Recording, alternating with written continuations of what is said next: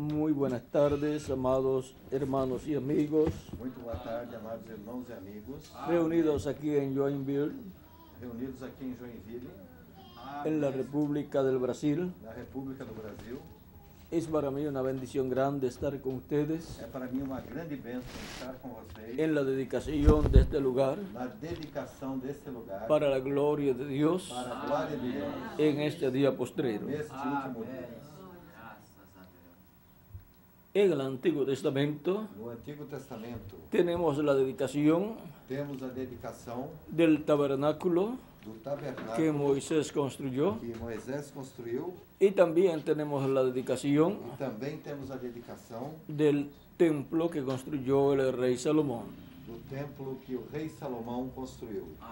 Veamos aquí en el capítulo 8 de Primera de Reyes, Vejamos aqui no capítulo 8 de 1 de Reis, versos 6 al 11, do verso 6 ao 11, lo que sucedió o que sucedeu cuando Salomón quando Salomão dedicó el templo a Dios. dedicou o templo a Deus.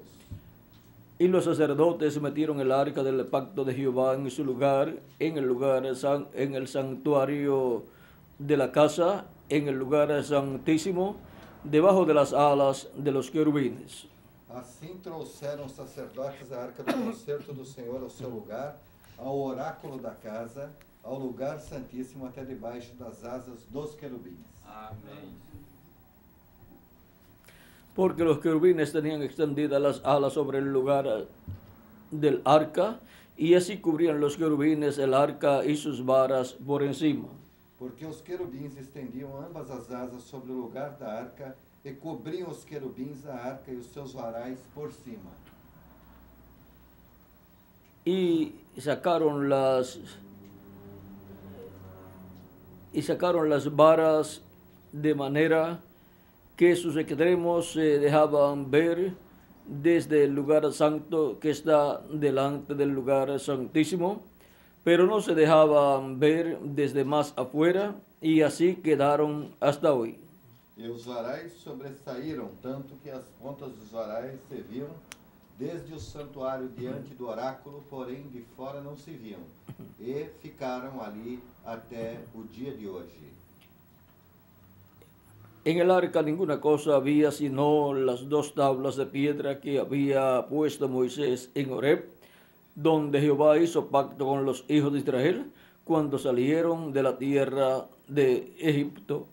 Na arca nada havia, senão só as duas tábuas de pedra que Moisés pusera junto a Horebe, quando o Senhor fez aliança com os filhos de Israel, saindo eles da terra do Egito. Y cuando los sacerdotes salieron del santuario, la nube llenó la casa de Jehová. E sucedeu que, saindo os sacerdotes do santuário, uma nuvem encheu a casa de Jeová. Y los sacerdotes no pudieron permanecer para ministrar por causa de la nube, porque la gloria de Jehová había llenado la casa de Jehová. E não podiam ter-se em pé os sacerdotes para ministrar por causa da nuvem, porque a glória de Jeová enchera a casa do Senhor. Que Dios bendiga nuestras almas con su palabra Deus abençoe nossas almas com Sua palavra y nos permita entenderla. e permita-nos entendê-la. Permita Dios entender Deus permita lo que es la dedicación del templo. o que é a dedicação do Pueden tomar ustedes asiento. Vocês podem sentar-se. Hemos visto en esta ocasión que la gloria de Dios entró a la casa que Salomón construyó que y llegó hasta el lugar santísimo e y se colocó sobre el arca del pacto. Así había sucedido también Assim também sucedera cuando Moisés dedicó el tabernáculo a Dios tabernáculo a allá en el principio Lá no princípio, y encontramos e encontramos que en la dedicación de ese tabernáculo a Dios se manifestó nela Deus manifestou-se en una forma gloriosa. De está por ahí por gloriosa. Éxodo capítulo 20. Isso está ali pelo Êxodo, no capítulo 20.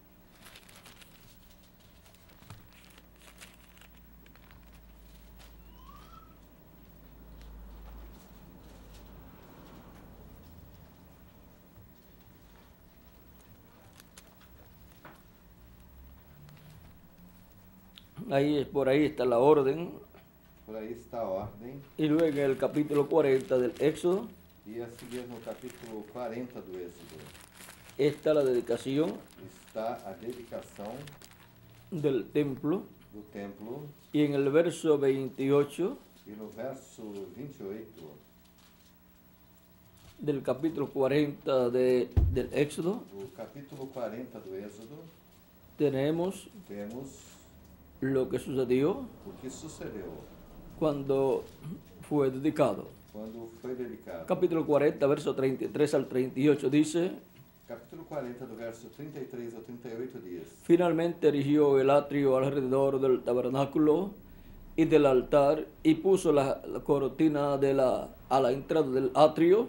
Así acabó Moisés la obra Levantou também o pátio ao redor do, taberno- do tabernáculo e do altar e pendurou a coberta da porta do pátio. Assim Moisés acabou a obra.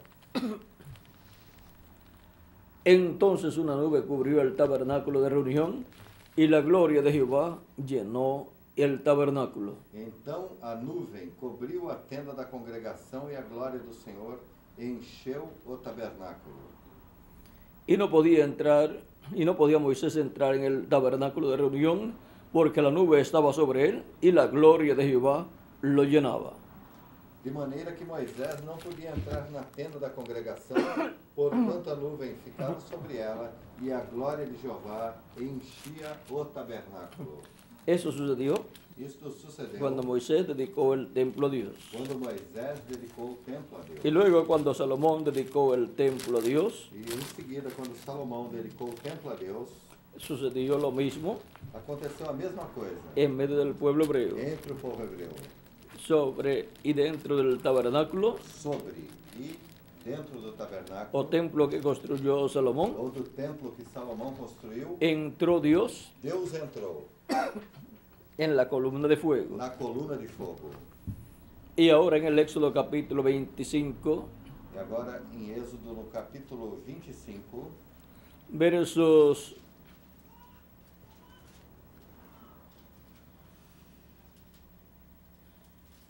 verso 21 en adelante, verso 21 em diante, le dice Dios a Moisés, Deus disse a Moisés: y pondrás el propiciatorio encima del arca, E porás em arca, y en el arca pondrás el testimonio que yo te daré. depois que houveres posto na arca o testemunho que eu te darei. Y de allí me declararé a ti, E dali, e ali virei a ti e falarei contigo. Y hablaré contigo de sobre el propiciatorio de entre los dos querubines que están sobre el arca del testimonio, todo lo que yo te mandare para los hijos de Israel. E falarei contigo de cima do propiciatório do meio dos dois querubins que estão sobre a arca do testemunho. Tudo o que eu te ordenar para os filhos de Israel. De sobre el propiciatorio, E sobre o de en medio de los querubines de oro, do meio dos querubins de ouro, le hablaría Dios a Moisés Deus falaria a Moisés todas las cosas todas as coisas que Dios quería darle a conocer al pueblo hebreo. que Deus queria dar ao conhecimento do povo El- hebreu. y Moisés E Moisés las hablaba al pueblo hebreo, porque ese es el orden de Dios. Porque esta é a ordem de Toda Deus. revelación Toda revelação tiene que venir a un profeta. a um profeta. Y de ese profeta E profeta pasa al pueblo.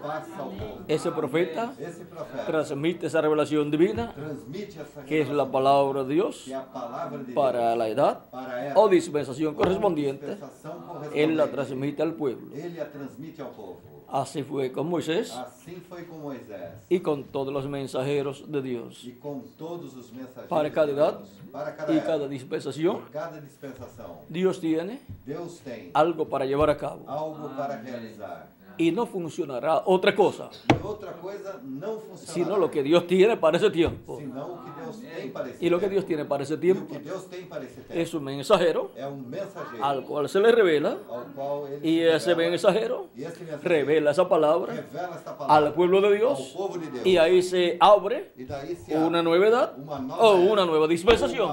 Y ahí tienen el mensaje de Dios para esa edad para o para esa dispensación. para. Porque tiene que venir Porque tem que vir. por medio de un mensajero. Toda revelación Toda tiene que venir por vir medio de un profeta.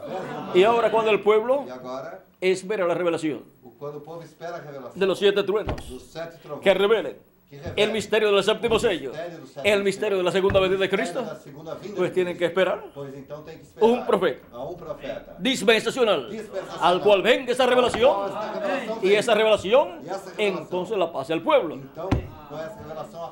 Y ahora, ¿dónde vería la revelación? E agora, onde vinha a revelação? Para el pueblo hebreo. Para o povo hebreu. Cuando Dios aceptó el templo, o tabernáculo que Moisés o construyó.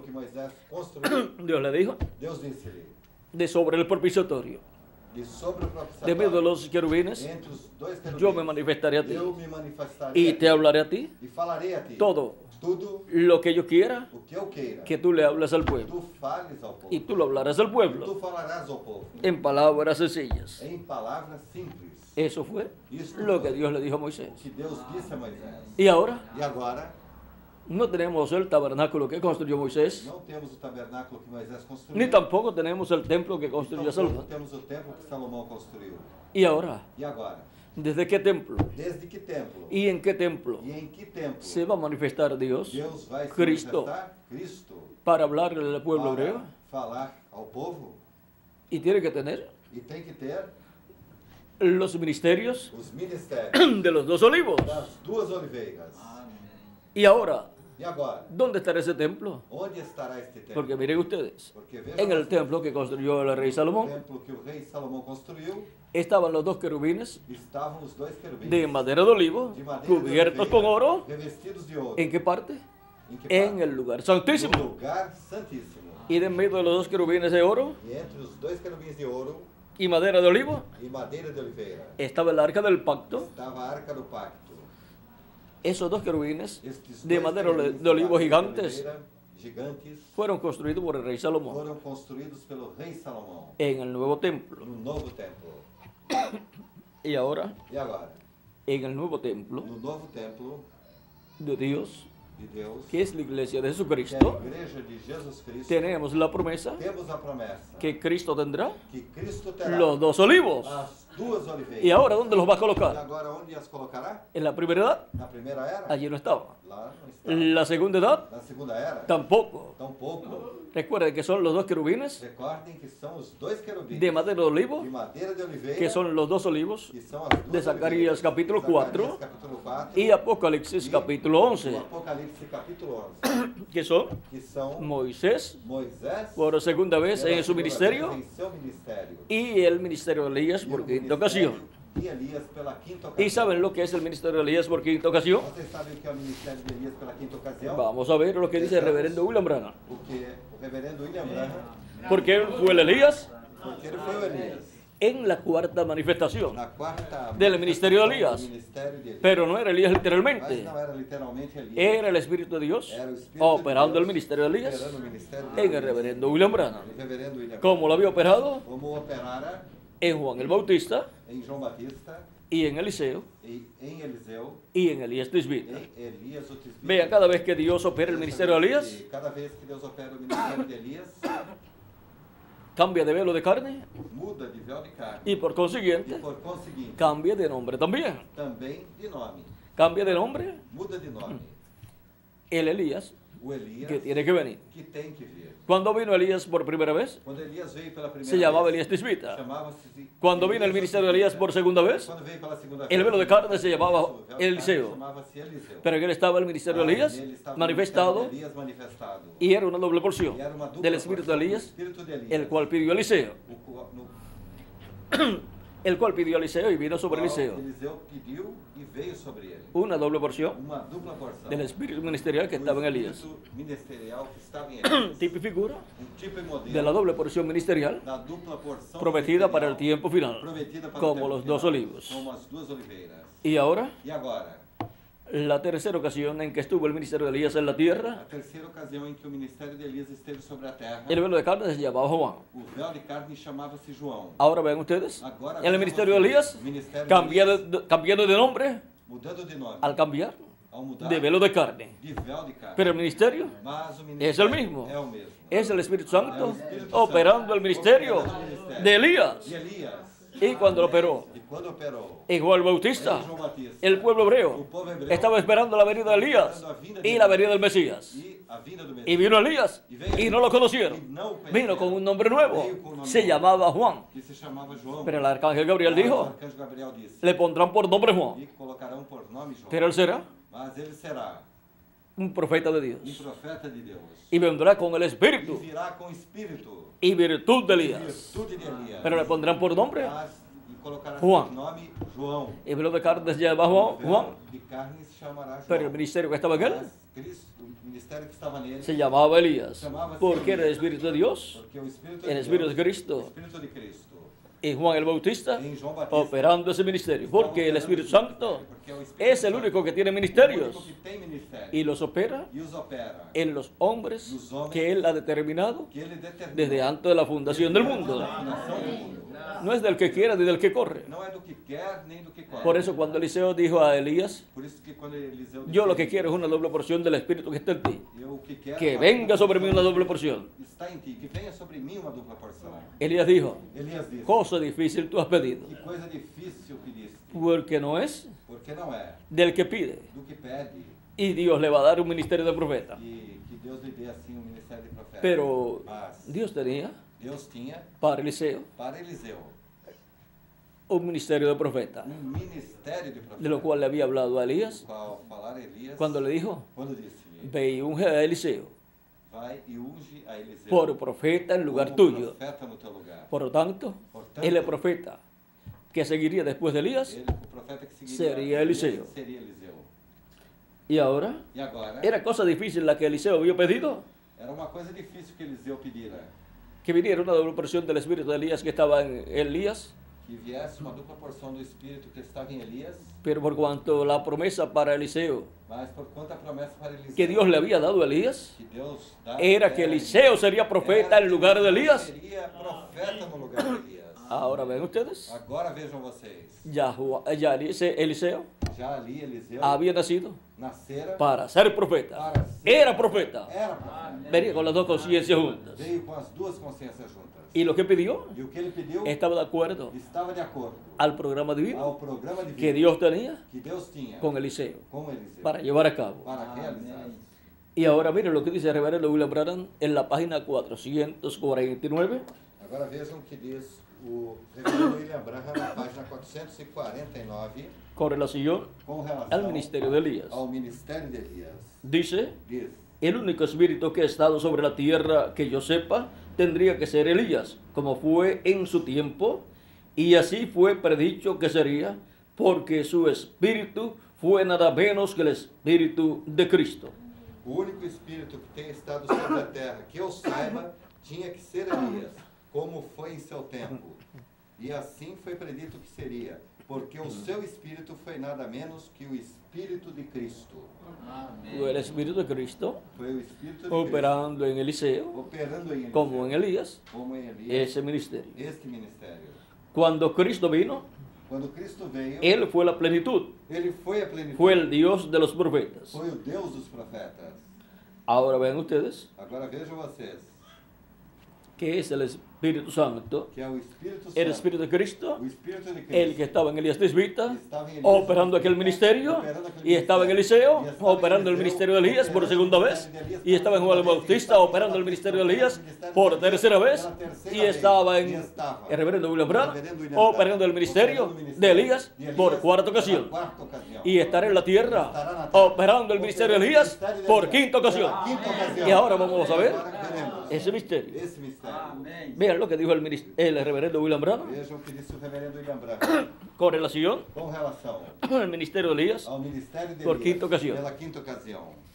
En la página 399 del libro de los Na sellos, página 399 do livro dos selos, en la pregunta número 11, na pergunta número 11, dice, diz: ¿el Elías que viene a predicar a los judíos es el verdadero Elías que estuvo en los días de Acab o será solamente el espíritu de Elías en otro hombre? O espírito que a pregar aos judeus é o verdadeiro Elias que esteve nos dias de Acabe, ou será somente o espírito de Elias em outro homem? La contestación fue, E a resposta foi: yo he pensado que será un hombre de este tiempo ungido con ese espíritu. Eu tenho pensado que será um homem deste tempo ungido com esse espírito. Porque cuando viene Elías, Porque quando Elias vem, conforme a la promesa divina, conforme a promessa divina, es un hombre é um homem del tiempo do tempo en que se cumple esa promesa, em que esta promessa en donde está el cumpre, Espíritu Santo onde o Espírito operando el Santo ministerio de Elías, o ministério de prometido para esa ocasión. para. Lo opera en, el, en Elías Tisbita y fue un hombre de aquel tiempo. Y lo operó en Eliseo por segunda vez y fue un hombre de aquel tiempo. Y lo operó en Juan el Bautista y fue un hombre de aquel tiempo.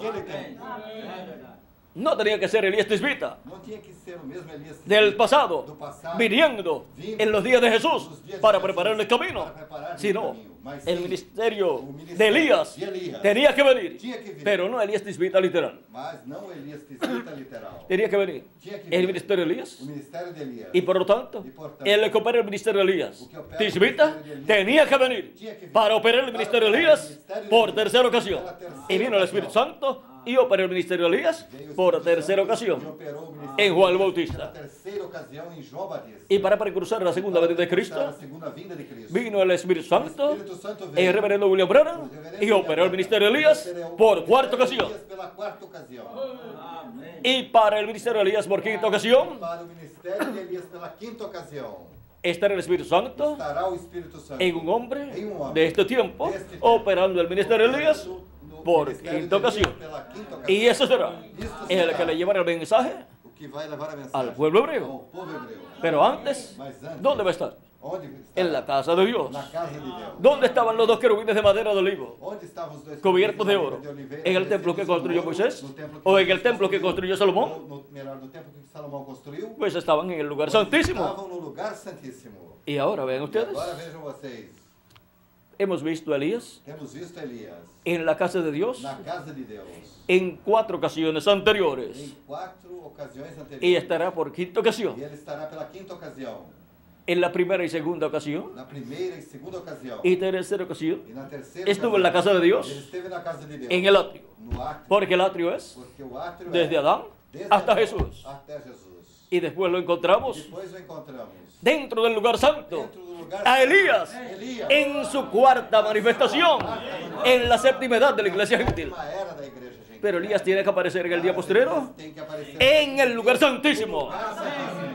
Y tiene que aparecer con Moisés. Y tiene que aparecer con Jesús.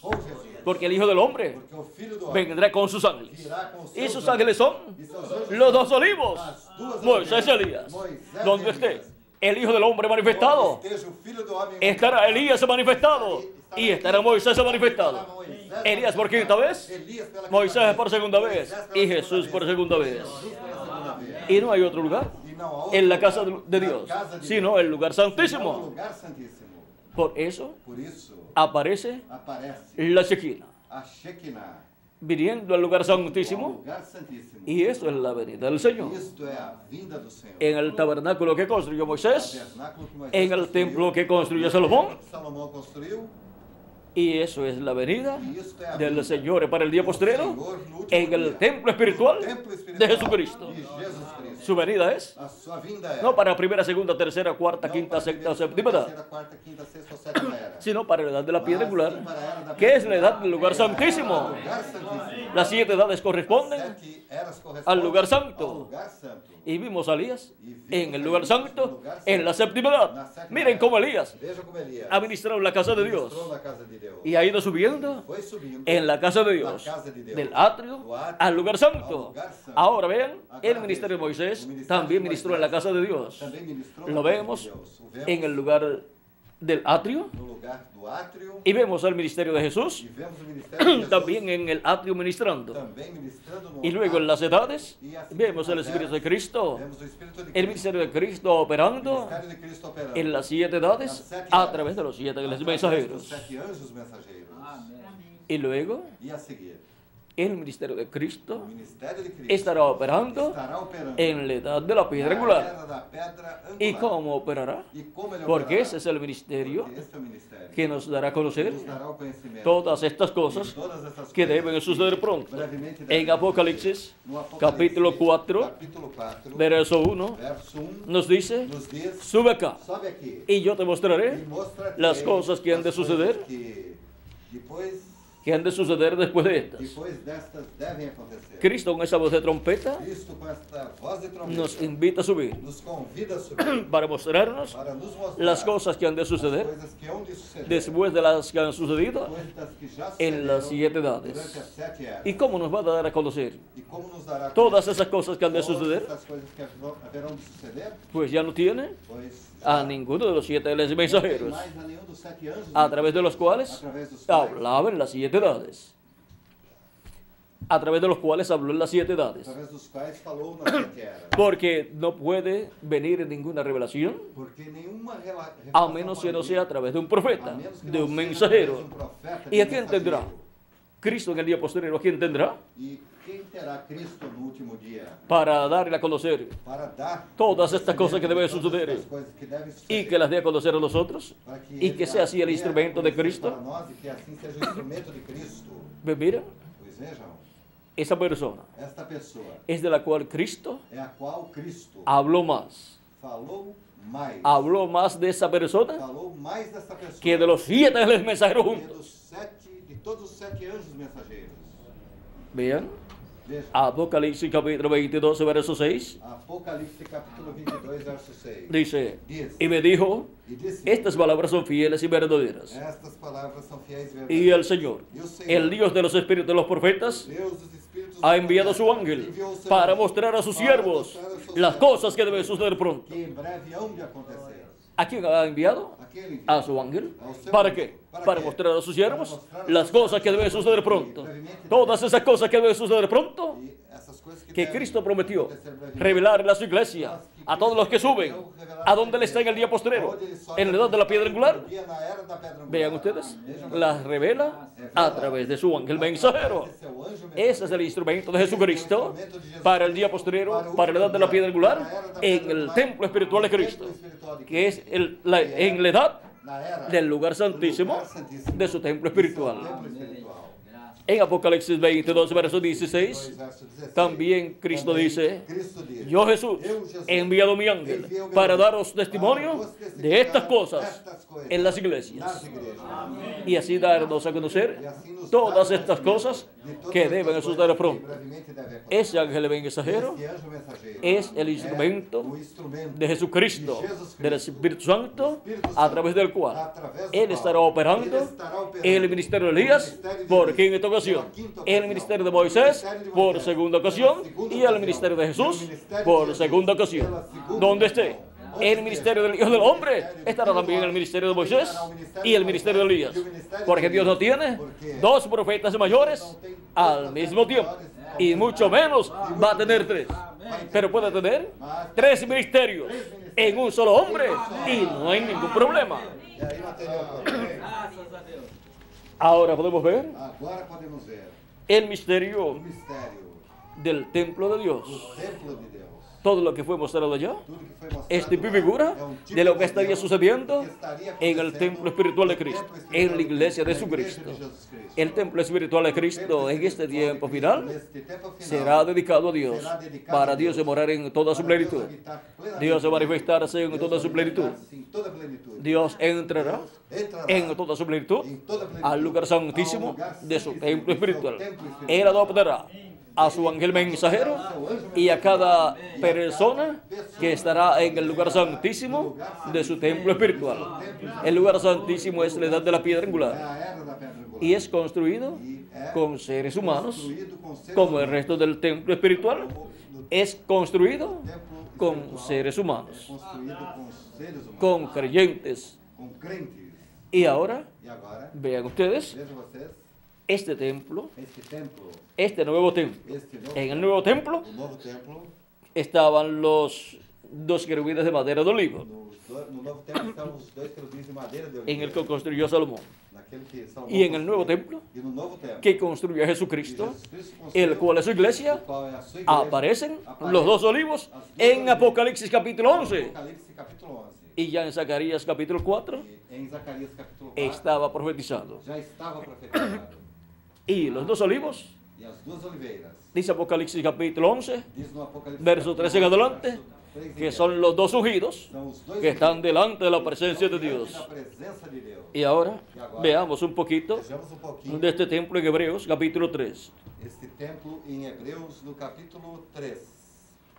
verso 5 en adelante, versos 5 al 6, 5 ao 6. dice, y Moisés a la verdad fue fiel en toda la casa de Dios como siervo para testimonio de lo que se iba a decir. E na verdade Moisés foi fiel em toda a sua casa, como servo, para testemunho das coisas que se haviam de anunciar. Pero Cristo como, como hijo sobre su casa, la cual casa somos nosotros, si retenemos firme hasta el fin la confianza y el gloriarnos en la esperanza. Mas Cristo como filho sobre sua própria casa, a qual casa somos nós, se tão somente conservarmos firme a confiança e a glória da esperança até o fim. Y ahora la casa de Dios, ¿cuál es? E agora a casa de Deus, La iglesia del Señor a Jesucristo. igreja do Senhor, Somos nosotros. somos nós. Y ahora Cristo está E agora Cristo está en su casa, em su sua iglesia, casa, em sua igreja, ministrando de edad en edad, de era em era, por medio del mensajero de cada edad. através do mensageiro de cada era. En Efesios capítulo 12, verso 19 al 22, Em Efésios, capítulo 2, do 19 ao 22, también San Pablo dice, São Paulo diz: Así que ya no sois extranjeros ni advenedizos, sino conciudadanos de los santos y miembros de la familia de Dios. Assim que já não sois estrangeiros nem forasteiros, mas concidadãos dos santos e da família de Deus. Recuerden Recordem que cada creyente nacido de nuevo que cada crente nascido de novo ha nacido en la familia de Dios. nascido na família de Y la familia de Dios, la descendencia de Dios, los hijos, hijos de os Dios, filhos e filhas de Deus componen compõem la iglesia de a Jesucristo. igreja de Jesus Cristo. Amém, amém. edificado sobre el fundamento de los apóstoles y profetas, siendo la principal piedra del ángulo Jesucristo mismo. edificado sobre o fundamento dos apóstolos e dos profetas, e que Jesus Cristo é a principal pedra da esquina, en quien todo el edificio bien coordinado va creciendo para ser un templo santo en el Señor. no qual todo edifício bem ajustado cresce para templo santo no Senhor. ¿Para ser qué? Para ser o quê? Un templo santo en el Señor. Templo santo. Ese es el nuevo templo. Este Ya no necesitamos el tabernáculo que construyó Moisés. Ni el templo que construyó Salomón. que. Ya Jesucristo está construyendo un está templo para Dios morar en él en toda su plenitud. Nele em toda. Y él termina esa construcción de su templo en este tiempo final final, al construir el lugar santísimo de su templo espiritual. templo, Porque un templo para Dios templo para Deus, tiene que tener lugar santísimo. lugar. Y las siete edades de la iglesia, con sus siete mensajeros, corresponden al lugar santo. lugar. Y después de las siete edades, eras, que es la- las etapas del lugar santo, lugar pues tiene que venir. el lugar santísimo, que es la edad de la piedra angular. Y tiene que ser construido ese lugar con seres humanos. Y ahora podemos ver que a través de las edades hubo un territorio donde Dios llamó y juntó a sus escogidos y construyó cada etapa de su iglesia correspondiente al lugar santo. Y cada etapa tuvo un mensajero. Y todo estuvo representado también el- en el candelabro con sus siete lámparas encendidas. Las siete edades con los siete mensajeros. Pero luego llegamos al lugar santísimo, a la edad de la piedra angular. era da pedra angular, La última edad de las siete edades se cumplió en Norteamérica. do Pero ahora, ¿dónde se cumple la edad de la piedra angular? La edad da del lugar santísimo del templo espiritual de Cristo. en la América Latina y el Caribe, donde está llamando y juntando sus escogidos y colocándolos en la edad de la piedra angular, el lugar santísimo del templo espiritual de Cristo. Y cuando esté completado ese lugar santísimo, lugar santíssimo pues estará terminado estará el lugar santísimo del templo espiritual de Cristo. espiritual Y Cristo saldrá del trono de intercesión, tomará el título de la propiedad, hará el reclamo, resucitará los muertos en Cristo y nos transformará a nosotros los que vivimos. Y entonces estará dedicado a Dios el nuevo templo. Y Dios estará morando en él en toda su plenitud. Y tendrá adoptado ahí a su ángel mensajero. Y adoptará ahí a su ángel mensajero. Y se manifestará en el poderoso ministerio prometido para el día para donde verán los ministerios de Moisés, de Elías y de Jesús operando con grandes señales y maravillas, Jesus operando grandes sinais e maravilhas como está prometido como está prometido. en la Escritura. na escritura. Viene esa etapa etapa que corresponde que corresponde a la etapa de la adopción etapa da adoção para el cumplimiento para o cumprimento de la visión de la carpa, donde se vieron las grandes señales y maravillas. Esa es una etapa que será cumplida ya cuando esté adoptado el ángel de Jesucristo de y sean adoptados sejam adotados los escogidos de os Dios. Deus Y el pueblo hebreo verá. A Dios obrando, a Jesucristo obrando en su templo espiritual, su nuevo templo, em porque Dios estará en toda su plenitud en su nuevo templo. em Y ahí estará el arca del pacto. Y sobre la arca del, arca del pacto estará Dios manifestado. Y ahora, ¿cómo viene? La, el arca del pacto. Al lugar ao santísimo del templo espiritual de Cristo. Eso es muy importante. Porque cuando. Moisés construyó el templo, metieron el arca del pacto al lugar santísimo. Y cuando. Salomón construyó el templo, antes de dedicarlo, metieron el arca del pacto al lugar santísimo. ¿Y cómo será colocado el arca del pacto al lugar santísimo del templo espiritual de Cristo? Nos dice la página 83, 84 y 85 83, 84 y 85 del mensaje tratando de hacer un servicio a Dios fuera de su voluntad. Dice el reverendo William Branham. Cristo es nuestra arca, la palabra. Ahora vean ustedes. Cristo la palabra Cristo es nuestra arca. Ellos quisieron su denominación. Eles quiseram a sua denominação. Eso fue cuando David estaba llevando el arca del pacto Isto foi quando Davi estava levando a, a la ciudad de David para a cidade de Davi. y la estaba llevando en un carro nuevo, E estava levando-a num carro novo, tirados por bueyes. puxados por. Pero esa no era la forma que Dios había establecido para llevar el arca del pacto. Dios había establecido que el arca del pacto sería llevada sobre los hombros de los levitas, de los levitas de la descendencia de Coat, no, de, no cualquier levita, no cualquier sacerdote, de la descendencia de Coat, a la cual le pertenece Aarón. Y ahora la forma correcta era llevar el arca sobre los hombros de los levitas. Y el arca representa a Cristo. Por eso es tan Por importante en el tabernáculo que construyó Moisés y el templo que construyó el rey Salomón. O rei Salomão construiu. Él no puede, noten, no puede ser llevado en carros nuevos denominacionales. carros.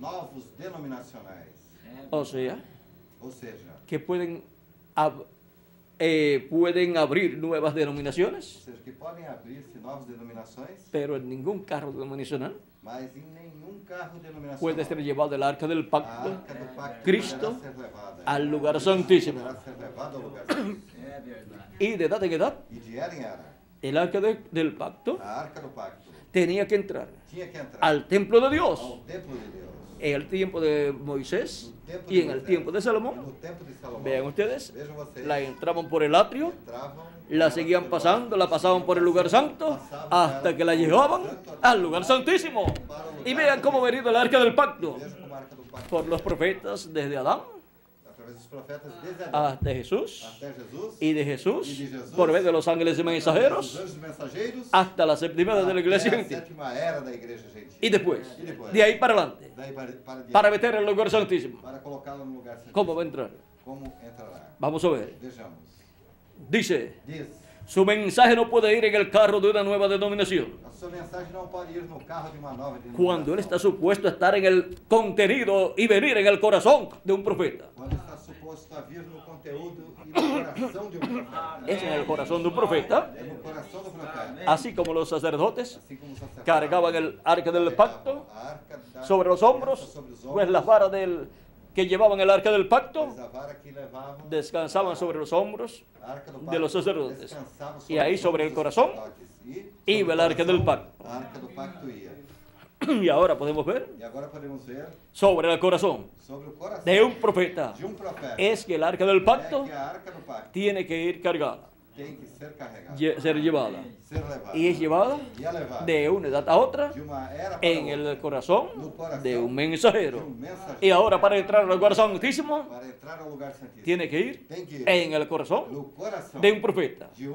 La palabra tiene que hacerse carne en un profeta. Profeta. Y ahora vamos a ver este misterio. mistério.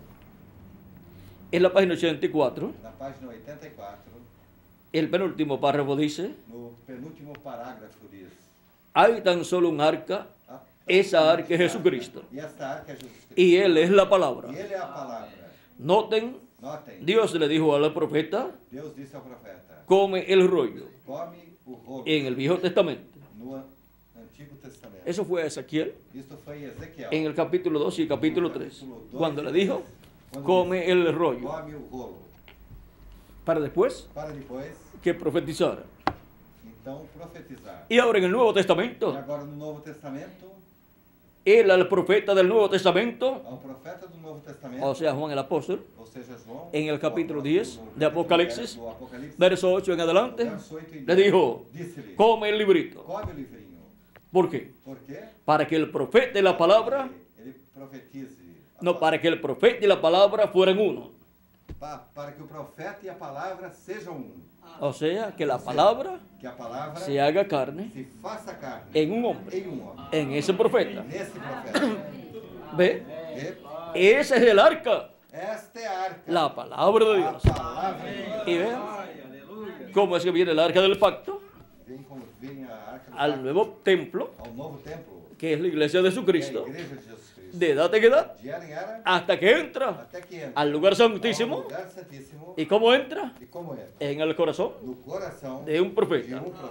Se hace carne en un profeta en el día postrero, que es el ángel del Señor Jesucristo, en el cual Cristo manifiesta Cristo los ministerios de Moisés, de Moisés, de Elías de Elías. Y de Jesús. Y ahí viene la palabra. hecha carne. encarnada. Y viene al lugar santísimo, a la edad de la piedra angular. Angular. Sin estar ahí la palabra, no puede ser dedicado.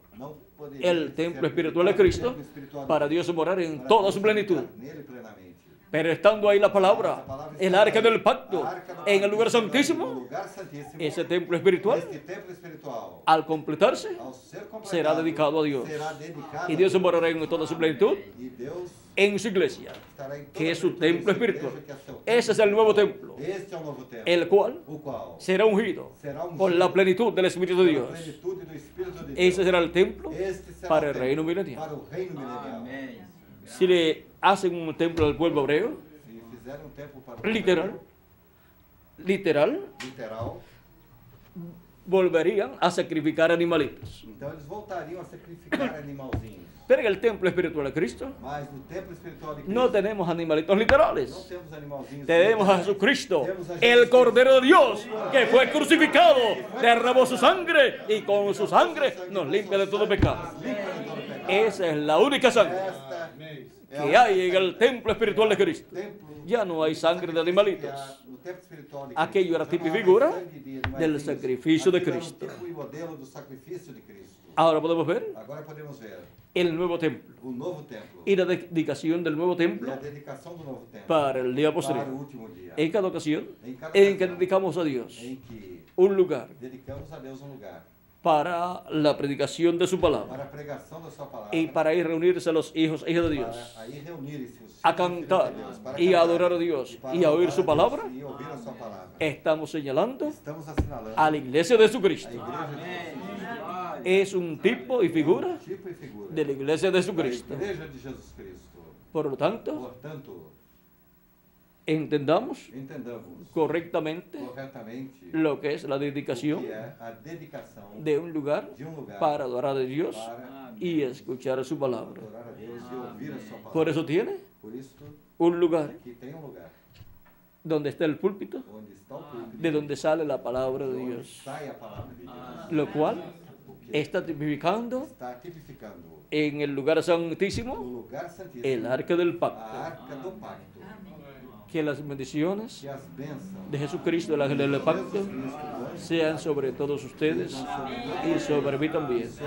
Y que este lugar que este lugar que dedican en esta ocasión para Jesucristo, para la exposición de su palabra y para venir a adorar y glorificar a Dios, sea de grande bendición para todos ustedes y Cristo reciba la adoración que le ofrecerán ustedes en este lugar neste a Jesucristo, nuestro Salvador, y que siga añadiendo a su iglesia en este lugar lugar. más y más personas, más y más personas. Que tienen sus nombres escritos en el cielo, en el libro de la vida del Cordero, en el nombre no eterno del Señor Jesucristo, y que use grandemente al ministro o ministros que estén frente de la congregación que se reunirá en este lugar. nesse y que abran más lugares abra en esta ciudad y en lugares cercanos para servir a Jesucristo, nuestro Salvador. En el nombre eterno del Señor Jesucristo. Amén. Y amén. Muchas gracias por vuestra amable atención y nos veremos en la actividad de la noche en el lugar que ya está asignado. Que Dios les bendiga y les guarde a todos. Guarde-os a todos. Amém. Glória a Deus.